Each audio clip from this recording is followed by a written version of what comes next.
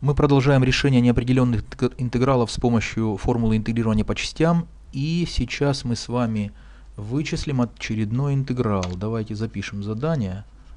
Вычислить.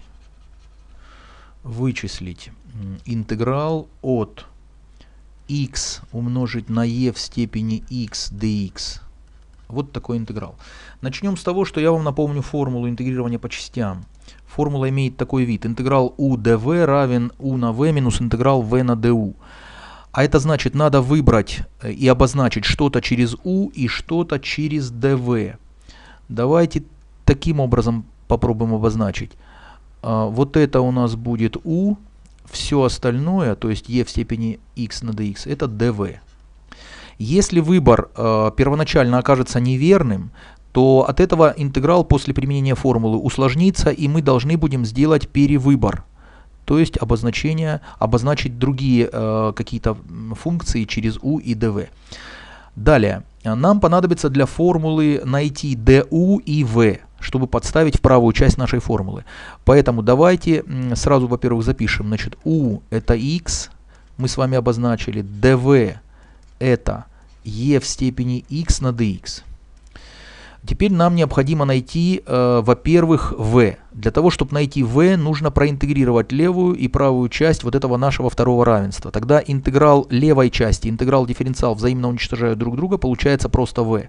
То есть получается v равно интегралу правой части. Давайте сразу я вот здесь отдельно это запишу. То есть v равно интегралу правой части e в степени x на dx это табличный интеграл, он равен e в степени x плюс константа c. Ну, э, нам достаточно самый простейший вариант для v, поэтому константу c можно здесь э, в данном случае принять равной нулю и взять в качестве v простейший вариант э, нашей функции, то есть e в степени x. Плюс константу c в данном случае можно не писать. Ну и теперь нам осталось только найти du. Постольку, поскольку u равно x, то du равно dx. Просто вместо u подставил x. Вместо u подставил x и получилось du равно dx. Теперь у нас есть все, чтобы применить а, нашу формулу. А, таким образом, вот посмотрите, я действую строго по формуле. У нас по формуле интеграл u dv, а именно такой мы имеем сейчас слева, именно такой u на dv, будет равен а, произведению u на v, произведение u на v. Что такое u? Это x. Что такое v? Это e в степени x. Вот у нас v. Значит, получается, у нас по формуле u на v, значит, это будет x умножить на e в степени x. И минус интеграл v на du. v это у нас e в степени x, а du это dx. Значит, тогда получается e в степени x dx. В итоге мы с вами получаем x на e в степени x переписываем, а интеграл, вот этот мы уже только что с вами его находили, он табличный, он равен e в степени x. Значит, получается минус e в степени x и плюс константа c. Давайте здесь же на этом уроке вычислим еще один интеграл, похожий на первоначальный, только более сложный. Значит, вычислим э, следующий. Давайте так, это у нас, э, пускай был интеграл под номером 1. Теперь вычислим интеграл под номером 2. Второй интеграл. Вычислить интеграл под номером 2 такой. Интеграл от x квадрат на e в степени x на dx. Вот такой интеграл. А, выбор осуществим э, точно таким же способом, э, которым, точно таким же способом, как и в первом случае. То есть вот этот x в квадрате только теперь уже, это будет u, все остальное это dv. Тогда u это x квадрат. Далее dv это e в степени x на dx. Вот э, в нашем случае v мы уже находили с вами, да, путем интегрирования левой и правой части. Поэтому сразу запишем в готовом виде. v будет равно, вот посмотрите, мы его находили, вот оно у нас, e в степени x, чуть выше уже было найдено. Значит, v равно e в степени x. И теперь надо э, найти только du. Находим du. du равно вместо u подставляем то, чему равна эта функция, то есть x квадрат. Вместо du подставляем x квадрат. Тогда у нас получается du равно, и вместо u подставляем вот этот x квадрат. Дифференциал от x в квадрате.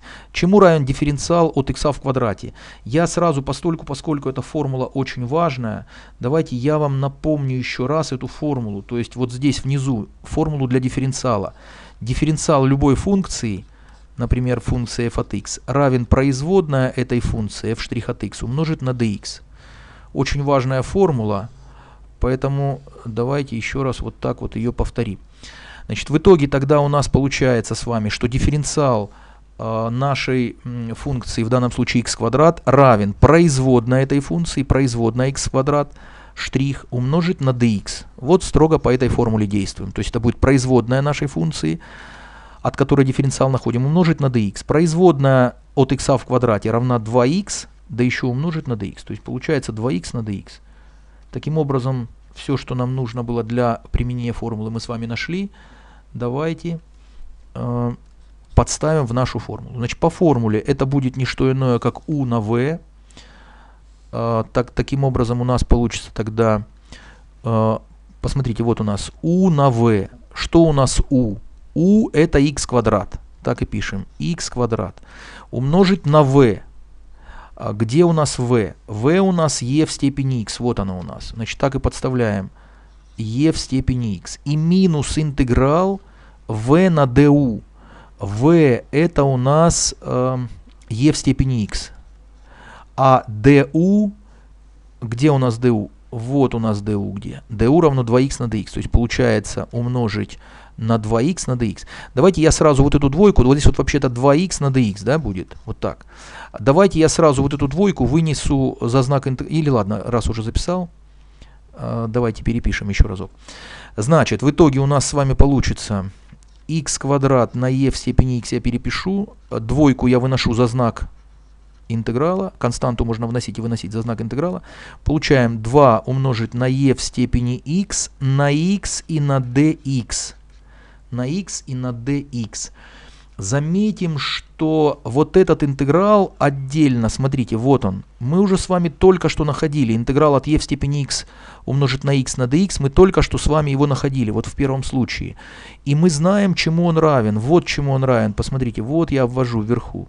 То есть это точно такой же интеграл x на e в степени x на dx. То есть получается, что нам если бы мы его сейчас не находили, этот интеграл, перед этим, в первом примере, то нам пришлось бы э, формулу интегрирования по частям применять еще раз. Давайте я лишнее вот здесь сотру. Вот таким образом. Значит, нам пришлось бы применять интеграл второй, э, формулу интегрирования по частям вот уже вот к данному интегралу второй раз. Но постольку, поскольку мы только что его находили, то мы воспользуемся готовым ответом. То есть мы просто-напросто подставим вместо этого, интеграла, вместо этого интеграла то, чему он равен. То есть вот данному, данное выражение мы подставим э, вместо этого интеграла. Тогда у нас получается следующее выражение. x квадрат на e в степени x минус 2 умножить на скобку. А в скобках мы запишем результат нашего первого интеграла. То есть это будет x на e в степени x минус e в степени x плюс константа c. На самом деле, э, ну ладно, давайте раскроем скобки, там потом разберемся. Значит, э, раскрываем скобки и э, выносим e в степени x, можно e в степени x вынести за скобку как общий множитель, а константу c отдельно записать. Получаем e в степени x мы выносим за скобку, получается x квадрат. Далее минус 2x. А теперь смотрите, минус, да вот на минус e в степени x, это у нас э, будет плюс 2 а, на e в степени x, но e в степени x мы вынесли, значит получается просто плюс 2. Плюс 2. Скобка закрывается. И вот здесь вот а, надо записать а, на самом деле минус 2c. Минус 2c. Но постольку, поскольку вот эм, 2c это является константой, обычно минус 2c не пишут, а пишут просто какую-то новую константу. Новую константу. Для этого давайте вот старую константу обозначим как-нибудь, например, c со звездочкой. Да? чтобы в новой константе уже оставить просто c. И тогда в этом случае мы с вами можем, а вот посмотрите, вот здесь вот в конце, вот здесь в конце, мы с вами можем уже а, просто-напросто записать просто плюс какая-то новая константа c. Таким образом, задача решена. Ответ на э, второй интеграл вот я только что подчеркнул. На сегодня все.